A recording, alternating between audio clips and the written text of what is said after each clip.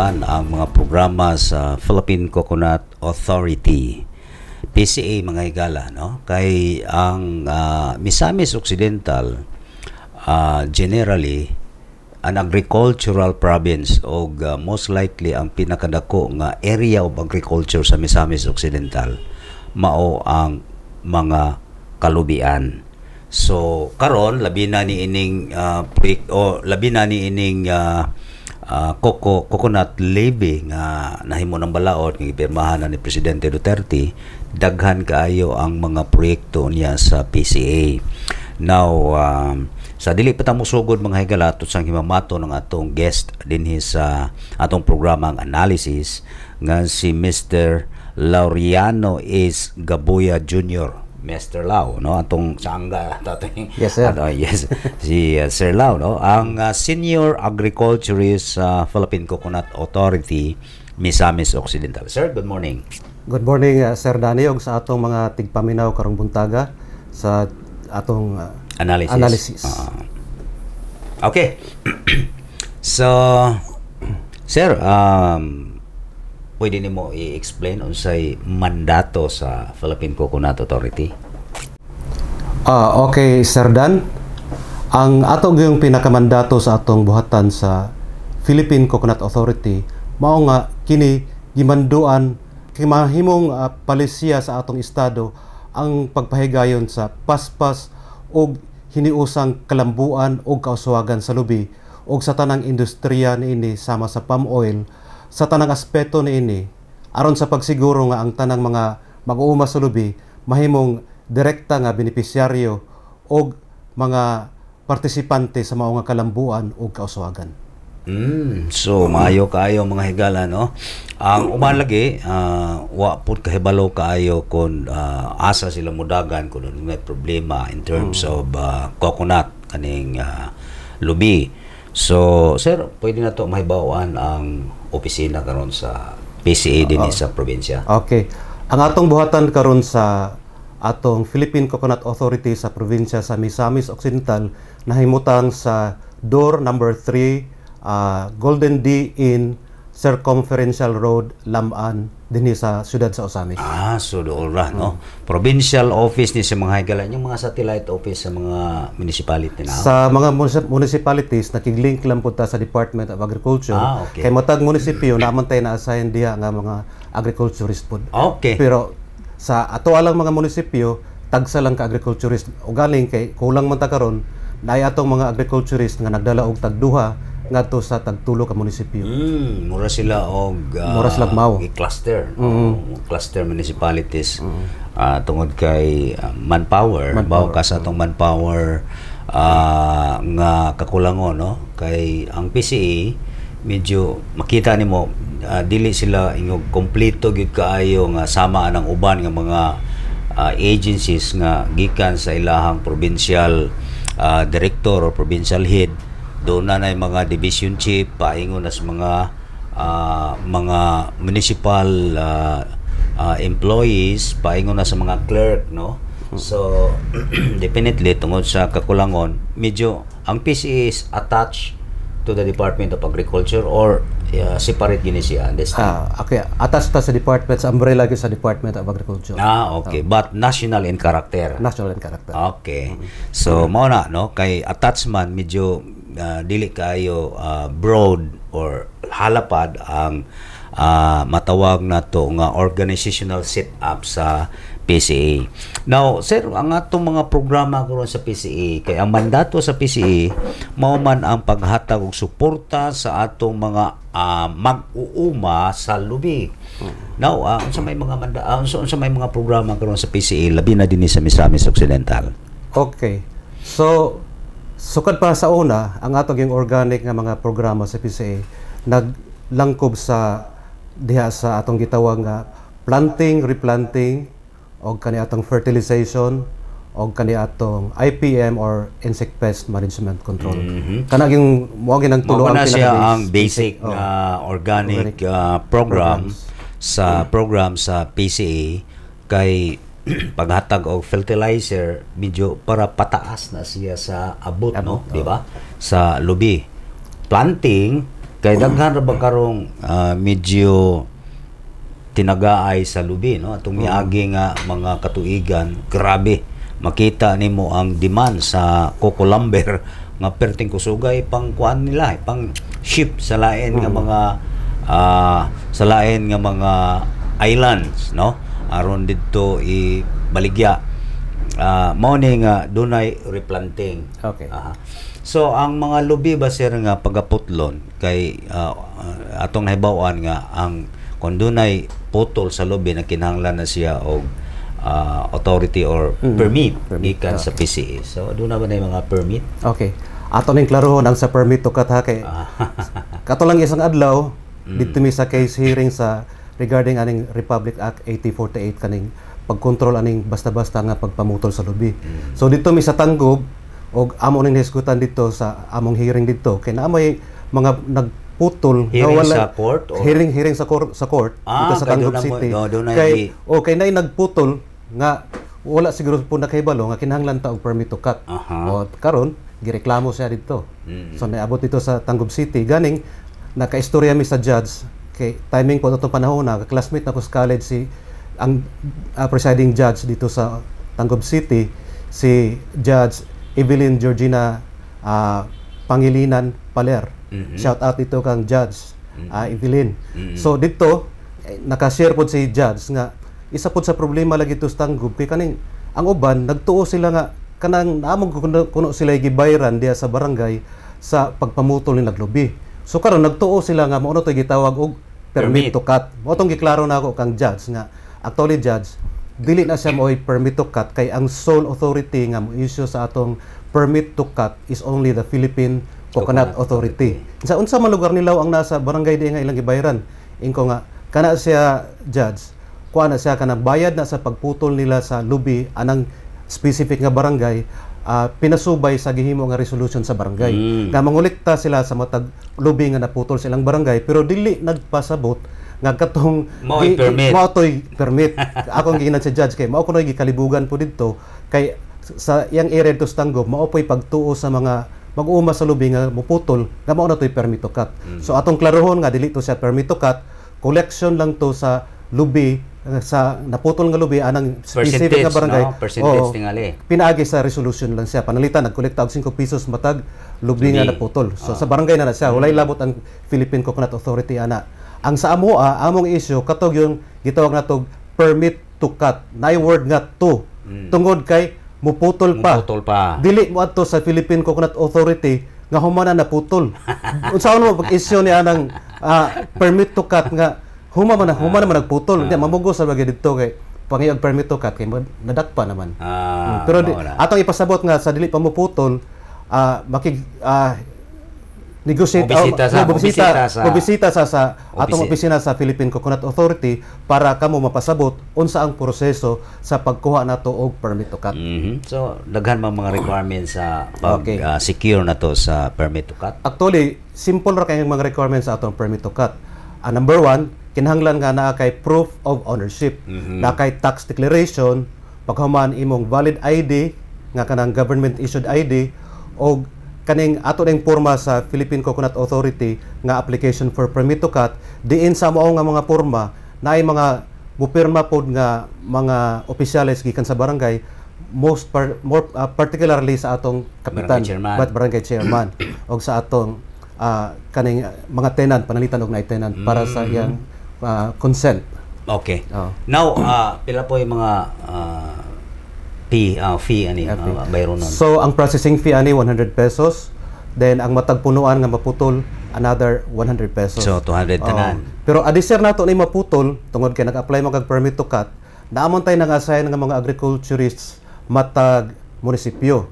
So kana nga agriculturist among ihatag to sa iyang application for permit to cut iyang ikandak ang gitawag na to ocular inspection and evaluation pag siguro nga naagyod ah, ni exist ang mao mga lubi nga gi-apply sa pagputol nga kana ni pasar po sa atong mga requisitos nga kinahanglang sinail na siya nagpasabot nga sinail niabot na siya sa 60 anyos pataas og dili na siya economically productive Mhm. Oo. So, ah, doon na ba'y ah, matawag na to nga ah, measurement kung mailhan ninyo ang lubi is ah, sinail na. Makita sa kuan.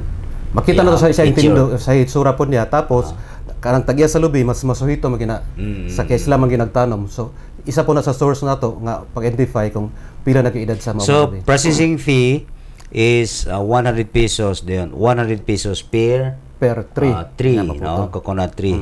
So, kung mo putol mo og 1,000 kalubi, ah 1,000 pesos. O, o Eh, Atong- ah, dili po ah, makaputol og 1,000 kaya ang, 100,000. ang allowed na to sa atong sa tamang sa probinsya mga 100 ah, trees lang Ah, sa isa ka application. Okay, okay. So panalitan og daghan-daghan na, na ato lang sa isang anam-anamon kay ang ma-approve per permit to cut is up to 100 trees lang ako kunat. So kung medyo maata, daghan-daghan naman i-apply, i-apply na po nun sa next time pero ipalap sa nato og mga 3 months ayan na po to ma-apply yan. Ah, okay. So, ah doon ay mga doon ay mga problema sa mga saop nga mo dangat dito sa opisina tungod kay gipamotol sa tag-iya sa yuta ang lubi nga gialiman sa saop. Mm-mm. Now, ato nakita ganiya nga usa sa mga requirements suma sa imong pamahayag mao ang mura og ah, consent or ah, pirma sa tenant. Tenant. Ah. so, necessary ba sa tag-iya sa yuta gyud nga ah, mo pirma ang saop? Importante kay sa Sir Dan kay Paglikay, nakabutang mo sa oh, paglik paglikay na to kaso. Mm-hmm. sa kaso kay na, naarabas atong balaod nga kinahanglan naagi consent sa tenant nga nahimutang kibali sa area nga i- di ini imong gipanag-iyahan. Oh. Importante Mm. so, sa na sila magsabot daan, Mm, no? sabot yun. Mas maayo magsabot da. Toy pa sa itong mga ah, mga mag-uuma sa lubi, mga tag-iya sa yuta nga doon na daghang kayong mga lubi nga karaan nga unproductive na wala na bunga tungod kay sa 60 anyos na ang pangidaron nga kung doon ay saop mangani nga mapiktuhan sa pagpamutol og lubi please ah, settle daan no aron mo pirma ang saop maglikay sa kaso og uh, mahibaw kon pila ang inyong ah, porsyento niya sa saop nga ihatag sa proceeds unya sa um, maong ah, ah, coconut tree no ang gipamutol. Now dunay mga instances nga atong nahibawan nga labi na sa atong mga kaigsuonan nga uh, dunay mga estudyante ni atong unang pa uh, ni atong mga nakalabay pang mga katuigan nga dili pa kaayo matawag nga libre ang atong edukasyon no sa kolehiyo Ah, maglisod sila no sa pagbayad sa tuition fee in, ah, in times of ah, ah, examination. So mapugos sila sa pagpamutol og lubi. Ah, unya dunay mga komprador meaning ah, mura og managaay na na sila lubi dunay kukulamber nga nga shop or unsay tawag na to ana nga mao na lang ang mo lukat og permit allowed ba na siya Okay, atong klarohon ni siya. mm Kaning atong sa permit to cut, while walay lain gitugutan sa pagproseso sa iyang permit to cut, kundi kato lang yung mga tag-iya. Ah, so dito ato man ang mat- ma, masiguro kung siya bagay tag-iya kay mo gawas man na dito sa iyang proof of ownership kana atong mga tax declaration. So kinanglan kinsa tong nasa tax declaration, mao lang to ang allowed sa atong balaod nga ma-apply dili sa lain nga mga tao. So katong dunay. So katong dunay mga ah, bansuhan, no? Bansuhan nga ma, mu- mukat og ah, lubi, definitely di gina sila allowed. Ah, dili sila allowed sir. Mm. Gawas kung katong bansuhan ay ang kabuling nga yuta nga nasa proof of ownership nga siya pwede tagyan niadto. Mm. Pero kung wala siya nga papilis, dili siya pwede nga mo-apply sa atong permit. Aron maklaro ni kay hasta ang ah, uban nga mga agencies malibog ani nga gibaligya lang nila. Uh, imutang nato nga ah, tag 2,000 ang punuan sa lubi. Um, sige, 2,000. So ang katunang mupalit maoy mulukat. so Ah, dili na dili- siya. dili na- oh, dili na Ah, dili na allowed. Kinahanglan ang tag-iya gyud. Kinahanglan ang tag-iya. Or tingali ang katong mga ah, requirements sa koan sa ah, permit to cut ila na tingaling gipapirmahan daan no Pwede. Sa tag-iya dyan. Basta lang compl- oh, pwede ga gisugod lang sila nga may modala dito, Mm. pero kinahanglan nga ang mga ang ngalan na butang dito ang pirma katog yung sa tag-iya kay amo man sang nang siguroon kung siya bagay nagpirma ana kaysa akong ginaingon ka ganina Dunay ocular dunay inspection. ocular inspection nga paghimuon sa area adtoon gito sa among agriculturist ang tag iya mismo Mm. iyang i-verify kung siya bagay nga ngalana iya mo ba ning naunga iya pong tanaw nito sa ID kay mag-submit mo tag ID so makita gid po dito nga mo ni ang tag Mm. Murag iya. validation. validation no? Oh, validation sa inyong paglusad o ocular inspection. Oo. Mhm. So, klaro ha, mga higala, kay ah, nauso na ra ba ang pero karon medyo may minus ang pagpumutol og lubi nakita nako nga wala na kayo yung mga mga truck nga malabyan mo nga puno kayo og mga kukulamber. pero ting mahala mas lubi Ah. asa atong kuan karon kopras niabot naman tag ani abot gay tag 50 kapin pero sa pagkaron ni baba ta natas mga 42 pesos 45 Mahal pero gyapon. mahal gyapon kay sabi agi may abot na siya 12 pesos Oh, di ba grabe, murag Oh. kuan. Nya karon kung mamahal ang lubi, daghan sa kawat nga mahitabo, mamulak meaning ah, mamulak ha, mamulak sa ah, muntag sayo, mo sumangil og ah, ah, tugway sa kanding, tugway sa kalabaw o sa baka ba. Ah, pero magdala po na sila og sudlanan nga ilang ikuan sa ang lubi. Kay Ang lubi tingali karon more or less mga 10 pesos tingali ang usa. oh mo rin pinakabarato ron Oh, pinakabarato, niabot so- og 15 makakuha sila og mga napulo ka buok. Wa na na na sila sa kagatos libre na ang usa ka kilo nga malagsi oh ni ato pong butong. Niabot na og ah, 15 pengos 20 sa diya sa mga sa munisipyo nato oh bisag diha ma- mapalit ka diha 20 naman 25 no mapalit ka og butong. Kay mutag sayo mas maayo manggod kay ang lubi.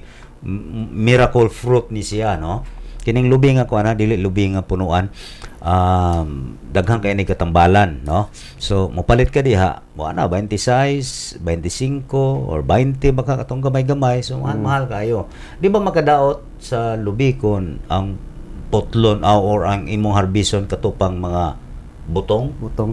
Ang nakakuha lang ana kay sa panahon sa ting harvest nimo sa kanang ah, ting kumpras na medyo gamay-gamay ra gani makuha kung imong gi advance Ah, una man, Oo. gi-advance mao nang uban nga maingon din sila nga gi kanang sa gi- term nila ana sa Sandaw. gisandaw dayon Oo. nganong ni sandaw kay sa butong pa lang gipanguha naman daan oo pero ah, technically technically dili gid siya Dili. makadaot sa oh lubi dili okay naman siya Ah, okay. Man ako na, Oo, na. bunga naman. nimo. Oh. Now, ah doon na tayo certain law, no? Kining Republic Act, nakalimot ko sa cert, ah, exact number nga gidili ang pagpamutol sa lubi. So, Ah. doon na yung penalty ani, no? Mm. Now, ah mao tingali itong dunay kaso nga giatubang nimo atong miagi nga ing, ing appear ka as witness ba ka or Ah, ang among manager may napir ako ah. ato witness lang po ko ato Aha. Yes, So, doon na ba yung nga convicto na ani sir?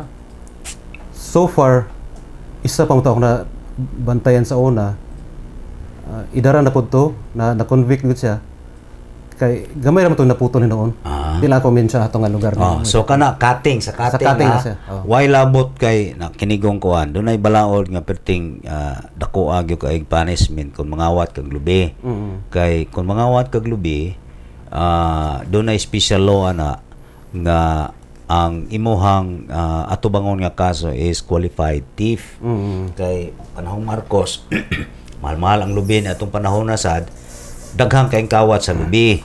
So, kung mangawat kag lubi, gi gibutang na nadaan sa balaod sa special law nga qualified thief. Ang qualified thief dako nagsilot kaysa ah, ordinary nga thief na kanang kawat.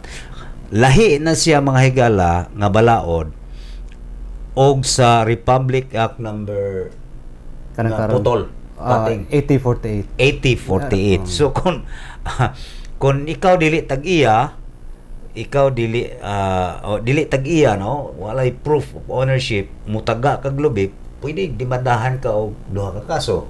8048 o Qualified. qualified thief, di ba sir? Ah, so ah, maglikay gyud kay ang lubi karon precious ni siya karon nga kuan.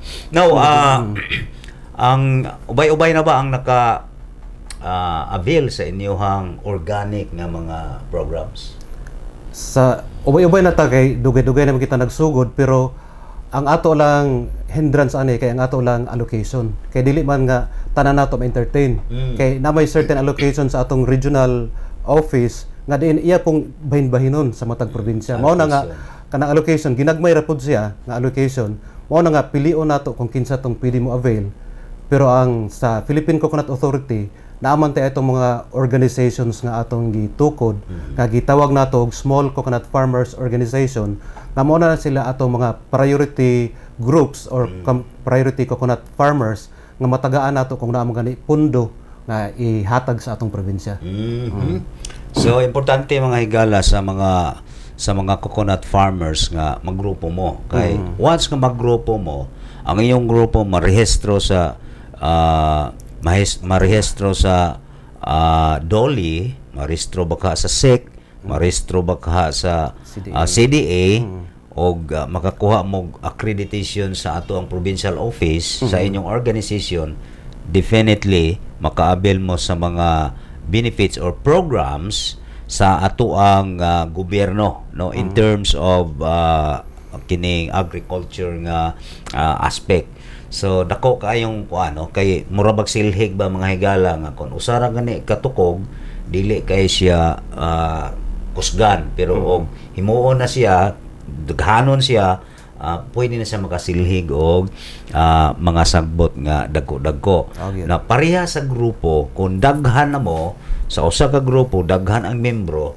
dako mog tingog so pwede na mo makatingog didto sa ah, ang gobyerno nga makapangayo mo niining klasiha sa mga benepisyo di ba Sakto kay Sir Dan. kay sa among mga trainings mao gyud ay imong istorya karon mao gyud na ang magawas dito sa mga trainings. Ah, okay, Oh, okay. So nat natumbok yun ang sakto nga atong ah, gipaningho Namo para sa uban ko sa ato mga kaigsuon mga mag-uuma mura og ah, ila lang i baliwala no ang grupo tungod kay kasgaraan pos tong grupo ah, mga matay lang diretso mga bungkag kay so ay magod tungod sa ah, tingali di nato mabasol ah, wa nila makuha ang lectures mga workshops sa capacity building Mm, mm, mm. Ah, So, ang uban, ah, kung makakuha na gani og kwarta ang ang grupo, ang organisasyon, ibulsa sa uban nga mga opisyalis. So, mao na nga, ang uban po nga mga membro, di na ganahan magpa-membro sa grupo. So, di ba usani sa mga seminars unya ninyo nga labi na sa cooperative nga ah, kinahanglan sa capacity building ah usa gid ang tanan nga ah, naagi ah, tingog ba participatory in character ang ang mga moves or lihok sa sa ka organisasyon